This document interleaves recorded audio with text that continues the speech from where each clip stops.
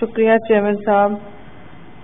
दिल तो बहुत भरा हुआ है और लोगों की और फाजिल मेम्बरान की तकरीरें सुन के बहुत और सोच और बातें आ रही हैं। मैं तो अब समेट भी नहीं सक रही हूँ कल से कि हमारे साथ और इस सेनेट के साथ तो छोड़े, मुल्क के साथ एक बहुत बड़ा सानिया हुआ है ये। सेनेट के अंदर सेनेट के बाहर, चाहे वो सुबह बलूचिस्तान हो या वफाक की तरक्की पसंद सियासत हो, उसमें एक बहुत बड़ी खला है आज। और वो खला हम सब महसूस कर रहे हैं। जिसकी मुझसे बेहतर लोगों ने बात की है, मेरे फाजिल दोस्तों ने। तो मैं सिर्फ़ इतना कहूँगी कि हासिल भाई हमारे लिए हासिल भाई हो गए थे।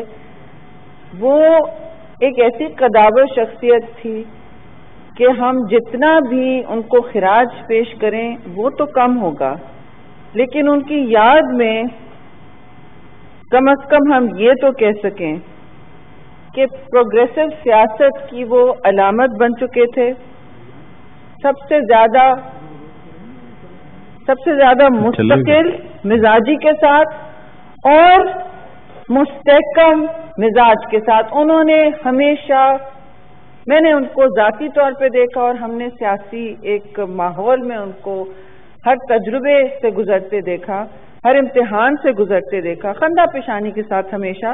लेकिन कोई मसलहत पसंदी नज़र नहीं आई कि अगर फैसला कर लिया है तो उस फैसले पे वो चलते थे। और मुझ जैसे अदना कारकुन को उन्होंने बहुत कुछ सिखाया है। मेरी तो इतनी पुरानी रफाकत नहीं थी जितनी जैसे मियाँ रजा रबानी की थी। लेकिन लंबा सियासी और जमहूरियत का सफ़र जो उन्होंने तय किया है, वक्तन फवक्तन हम उस पर साथ भी होते थे कि किश्ती में रहे हैं।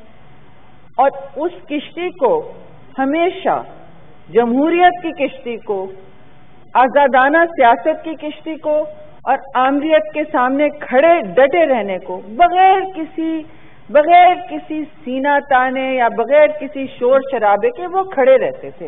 ये असली मुस्तकिल मिजाजी है कोई शोर नहीं, कोई हंगामा नहीं। ये तो एक उनके लिए मुस्तकिल परमानेंट कंडीशन थी जिसे कहते हैं। वो it was his existential heart that carried such politics forward और ये दिल से जब सियासत निकलती है तो वो फिर इसी तरह सबको सामने नज़र आती है। जो आज बातें कही गई हैं कि वो मुस्तकिल मिजाज थे, कि वो पीछे नहीं हटते थे, हक की बात करते थे, और किसी चीज़ में इंटरेस्टेड नहीं थे, वो थे। ज़िंदगी में उनका बहुत इन्वेस्टमेंट था। जाती तौर पे वो ज़िंदगी में आखिरी तक, आखिरी दम तक वो कहते थे कि मैं अपनी सोच और अपने टर्म्स के मुताबिक जीऊँगा। जो उन्होंने किया, ना कभी उन्होंने सहारा लिया पैसे का, ना उन्होंने कभी सहारा लिया रियासती ताकत का, ना उन्होंने कभी सहारा लिया मज़हब का। मज़हब का सहारा बहुत बड़ी चीज़ है, लेकिन उन्होंने सियासी सहारा नहीं लिया उसका। इन तीनों चीज़ों का सियासी सहारा नहीं लिया। और मुझ जैसे लोगों को खासतौर से औरतों को खातन को, उन्होंने बहुत हौसला दिया और हमेशा मुझे कहा, आखिरी दम तक मुझे याद होने का शेरी, आप शेरी, आप डटी रहें, मत पीछे हटें, मत सुने जो आपको लोग कह रहे हैं कि मेन स्ट्रीम सियासत में ऐसी बात नहीं करनी चाहिए। मेन स्ट्रीम सियासत में रहना है तो आप बीच की मोतदिल सियासत सिर्फ़ करें। मोतदिल सियासत वो भी करते थे। लेकिन एहतियात बरतने के बीच और मसलहत इख्तियार करने के वो रास्ता उन्होंने बहुत पहले निकाल लिया था। वो आगे निकल चुके थे मसलहत से। और जो आजकल की सियासत है, जिसपे ताकत से ही सब कुछ मुंसलिक किया जाता है, ताकत से ही मुंसलिक किया जाता है, वो एक जिसे कहते हैं ना, मशल रात है। एक अंधेरे वक्त में उनका किरदार एक क्षमा का था। और दिल से मैं समझती हूँ, सब जो उनसे सियासी इख्तलाफ भी रखते हैं, उनकी असूल पसंदी और असूल परस्ती को सब जानते हैं और सब उसकी बात कर रहे हैं। उन्होंने कभी दलेरी का भी कोई फुकदान नहीं। चुपचाप वो खड़े होके बस कह देते थे कि नहीं, मेरी तो ये पोजीशन है। ठीक है, अगर आपकी नहीं है, कोई बात नहीं, मेरी ये पोजीशन है, मेरी पार्टी की ये पोजीशन है। उससे बाकियों को भी हौसला मिल ये होता है, ये होता है लीडर ये होता है रहनुमा। बाकी जो लग जाते हैं, किसी ट्रेन कट के पीछे कि जी, ये शायद हमें किसी जगह तक पहुँचा देगी। वो उस उस ट्रेन के सवार नहीं थे, वो उस किश्ती के सवार नहीं थे। और उन्होंने हमेशा, मैं समझती हूँ कम अज कम, कि जो लेफ़्ट की सियासत की है, दाएँ बाजू की सियासत की है, उसको इन हालात में, मुश्किल हालात में, चाहे वो मिनिस्टर हो रहे, क्या रहे, उन्होंने आखिरी वक्त तक उस अलम को अपने हाथ से नहीं छोड़ा। आजकल की दुनिया में इस तरह करना बहुत मुश्किल है।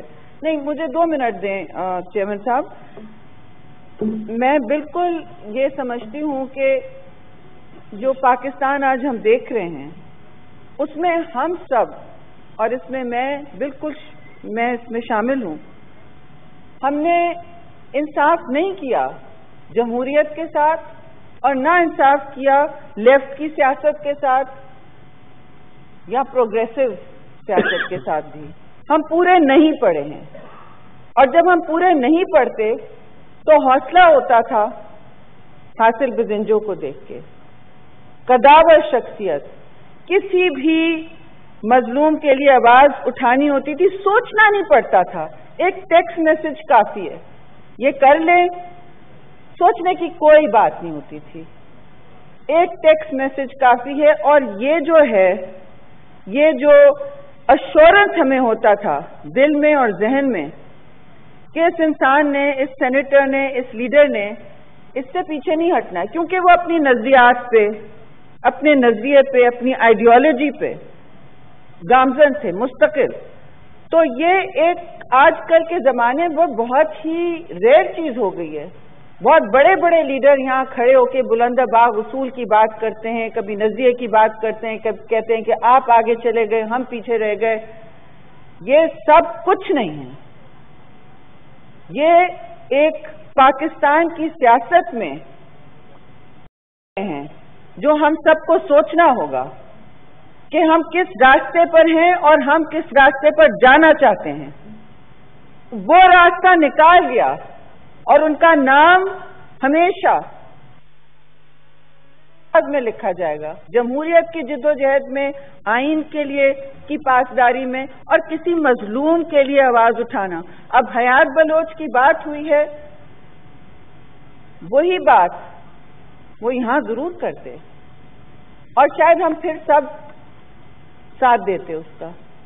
लेकिन इन हालात में उनका सामने सफ़े अव्वल में रहना, जब जब शिकस्त भी हुई तो सफ़े अव्वल में रहना हम सब के लिए बहुत अहम और हौसला कुन वक्त था।